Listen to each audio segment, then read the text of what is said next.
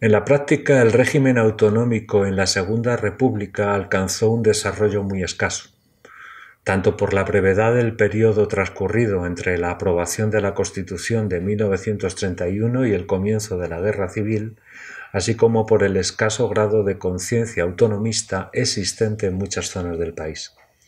Como veremos, la Constitución autorizaba, pero no obligaba, a las provincias a integrarse en regiones autónomas, y sólo en algunas de ellas existía una verdadera demanda popular de autogobierno. Aun así, incluso en estos casos, los procesos fueron lentos e irregulares.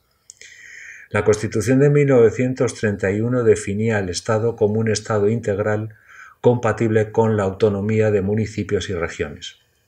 El padre de, esta definición fue el socialista Luis Jiménez de Asúa, que tomó como modelo la Constitución de la República de Weimar en Alemania, que suponía una solución de compromiso en las discusiones que había entre republicanos, federalistas y unionistas.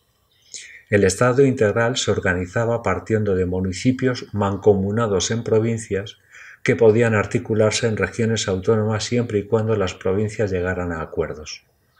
Las regiones autónomas tenían derecho a, la elaboración de un estatuto con gobierno y parlamentos propios.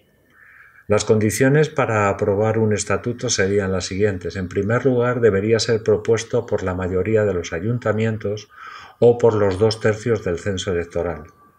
Posteriormente debería ser aprobado en un referéndum que tendría que tener un respaldo de los dos tercios del censo electoral y por último las Cortes deberían aprobarlo. Estas podrían modificarlo, eliminarlo o enmendar algunos títulos siempre que consideraran que eran anticonstitucionales.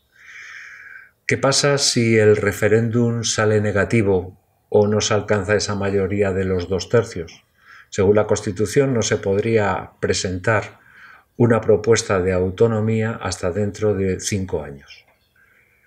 ¿Puede una provincia o parte de ella renunciar a formar parte de una región autónoma?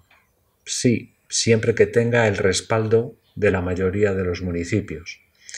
En cuanto a las competencias, la, Constitución de 1931 la divide en tres categorías, las que son de competencia solo y exclusivamente del Estado, las que son competencias del Estado pero ejecutadas y controladas por las regiones y por último las que son competencias exclusivamente de las regiones.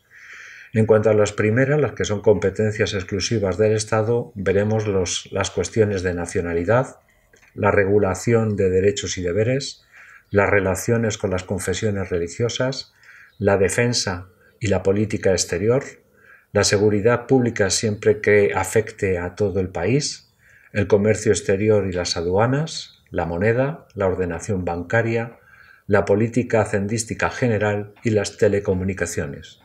La segunda categoría de competencias, las que son del Estado pero ejecutadas y controladas por las regiones, serían aquellas de, relativas a la legislación penal, social, mercantil y procesal, a la protección de la propiedad individual industrial, a los asuntos de seguros, pesos y medidas, a la administración del agua, la caza y la pesca, y la prensa y la radio. El resto de las competencias que no he nombrado, como sanidad, educación, beneficencia, serían competencias exclusivamente de las regiones. ¿Quién eh, soluciona los asuntos conflictivos de competencias entre el Estado y las regiones? Pues un tribunal, el que se llama Tribunal de Garantías Constitucionales, que elaborará un dictamen eh, sentenciando cuál de las dos partes tiene razón. El tema es que este dictamen no era resolutivo, ya que la última decisión la tenía siempre las Cortes.